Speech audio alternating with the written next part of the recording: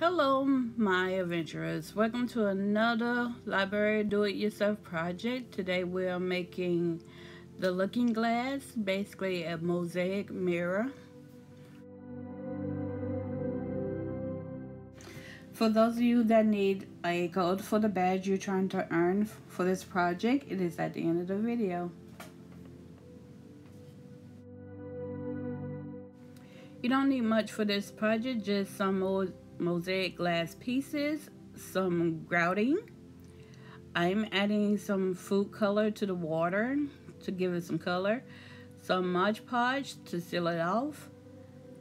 Um, a 2 inch by 2 inch mirror. And something to smooth out the grouting. I'm using my old Harry's shopping cart. And paper towels. And let's not forget the wooden slat.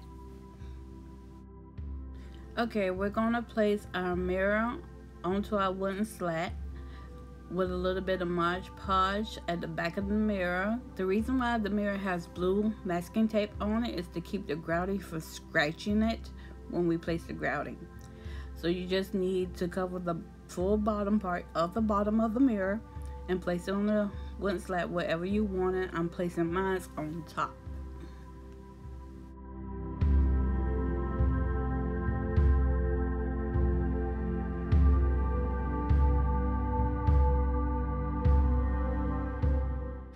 We're going to take our mosaic pieces and surround our mirror and then outline our wooden slat with mosaic pieces and then cut fill in the rest.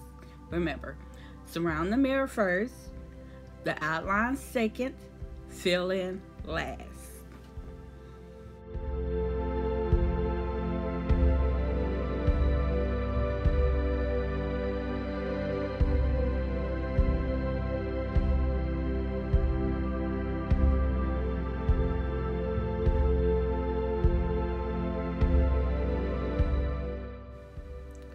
Once the surrounding mirror is done, start with the outline.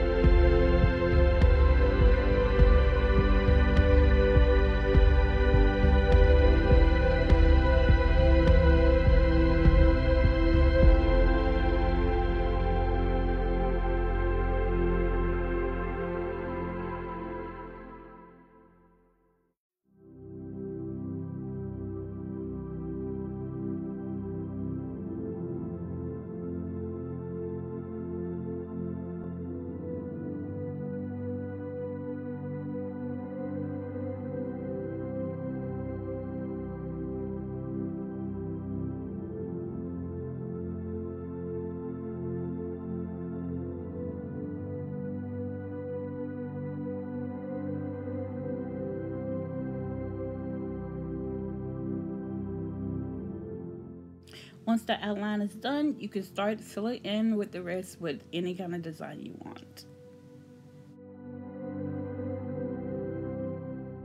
Once you fill in the entire wooden slat, let it completely dry.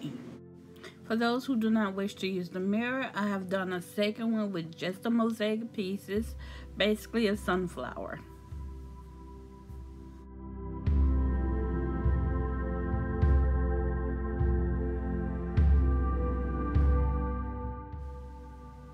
Now we're going to mix our water with our grounding. I'm adding a little bit of glitter to give it some sparkle. And this is the green grounding that I'm going to put on my sunflower. Depending on which kind of grounding you have at hand, um, we did instructions on how much water to add.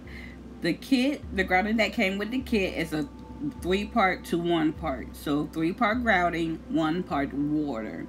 So the grouting you have in your kit only takes uh, one tablespoon and a half of water.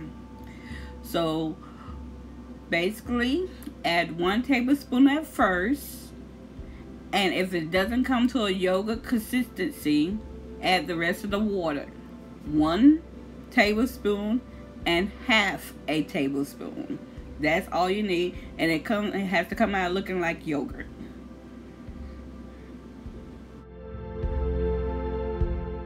So we're going to smooth our grouting into the cracks between our mosaic pieces. Be careful not to spill over the edge, but you need to actually, it's okay to go over the um glass. It won't hurt it. Just be very careful not to spill any because that's all you have.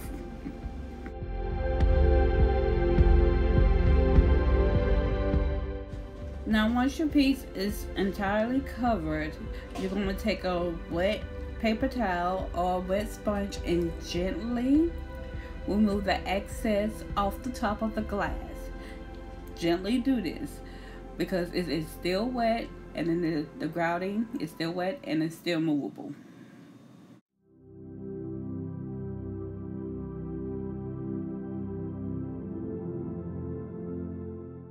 Here you can actually see that I have some air bubbles into my grouting so I'm just going to fix those real quickly and after that we're going to let this dry and then we're going to come back and polish off our stones our glass mosaic pieces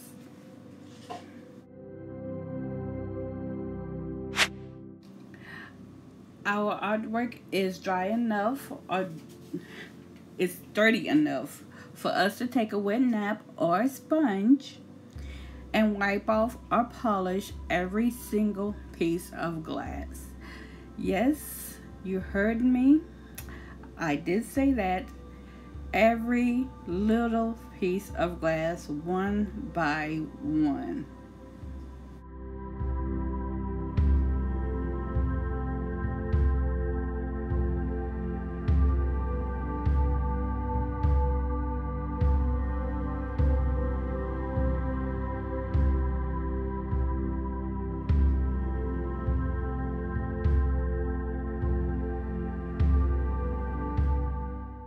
I've taken the masking tape off the mirror and now I'm just going through both pieces and finishing polishing off the glass pieces.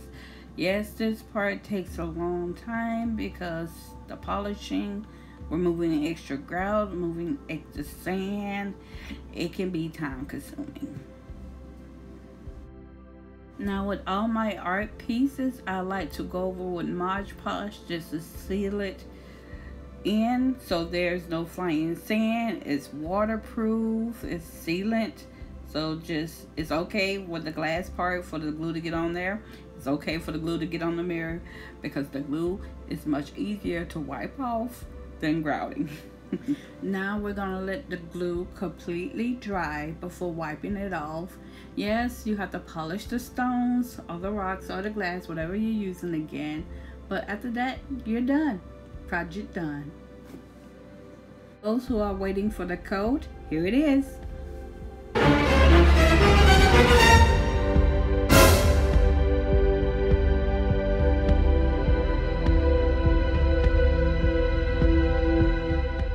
Thank you for joining me, Lavonna Moore, for another do-it-yourself project. If you want any more projects, just go to your local library and you can find us on Facebook, YouTube, Instagram, Twitter, or our website at okrls.org or just come visit us. Love to see you.